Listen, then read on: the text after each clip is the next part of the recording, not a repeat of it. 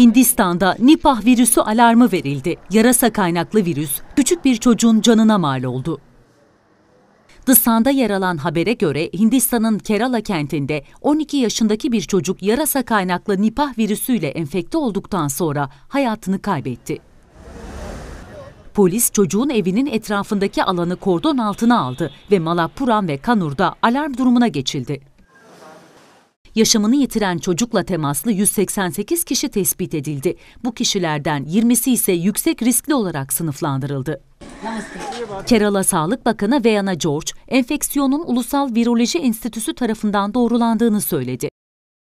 12 yaşındaki çocuk geçen hafta yoğun ateşle hastaneye kaldırılmış, durumu hafta sonu daha da kötüleşmiş ve hayatını kaybetmişti. Nipah, COVID-19'dan 75 kat daha ölümcül olduğu için dünyanın en tehlikeli virüslerinden biri olarak kabul ediliyor.